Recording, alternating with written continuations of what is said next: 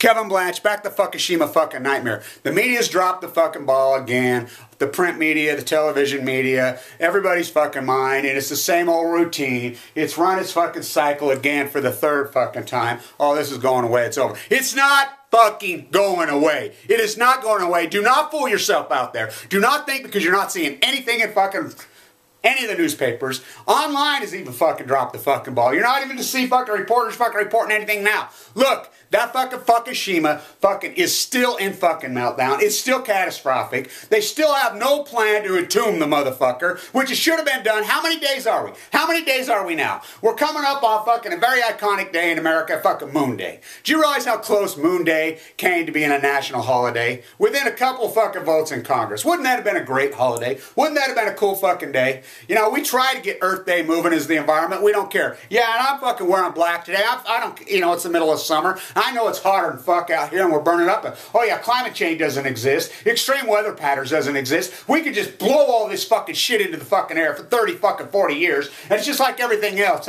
we could just make up in our minds what we want to fucking believe. The reality and fucking structural fucking deductive thinking means nothing. It means nothing. Logic? Fuck logic. We're dug in. Fucking Rupert Murdoch feeds the right whatever he wants them to fucking do. And you got to give it to Murdoch. He grows this fucking vast empire, not just in England, here in the United States, and we have turned into fucking England. The fucking Neil Far fucking right. He feeds them anything. And the corporate CEOs board sit around and just fucking laugh. Fucking the fucking GE who build all the fucking energy fuck things. They're, you know, they pay no taxes. They employ nobody here. They fucking put nothing back into our fucking society. Look, if you read in the inception of the pure corporations themselves, how they were conceived by the forefathers and how the structural courts build up the corporations. Read what the first line says, all the courts, including the Supreme Court rule. Read what they say.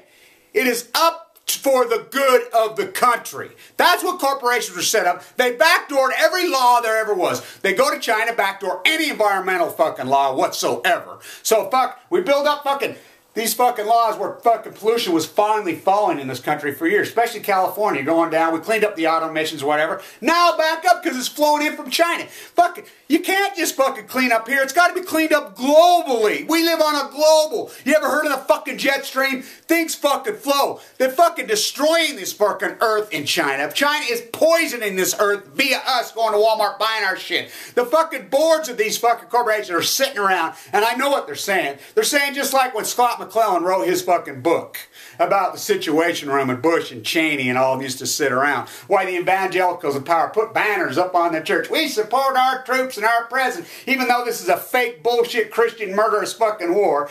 You know, we support them. They get up on the pulpit. Yeah, yeah, go boys, go boys. Yeah, yeah. When none of them ever fucking served. You talk to any man who's ever been in the fucking theater who was killed Talk to any of them, every one of them. We all have uncles and fathers. We all fucking know. I grew up in a family like that. I know how they, they drink straight fucking whiskey. They fucking check out. They're violent. They're fucking, are they commit fucking suicide. They don't ever speak of it. It destroys their fucking mind.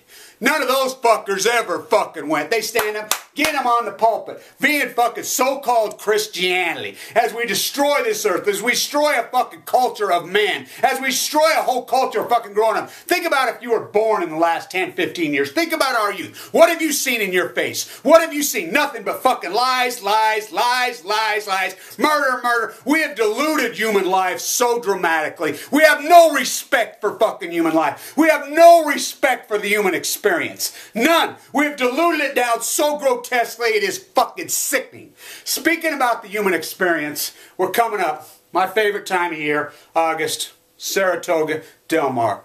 I'm old school. And you guys, I'll be in Manhattan soon taking the train to Saratoga.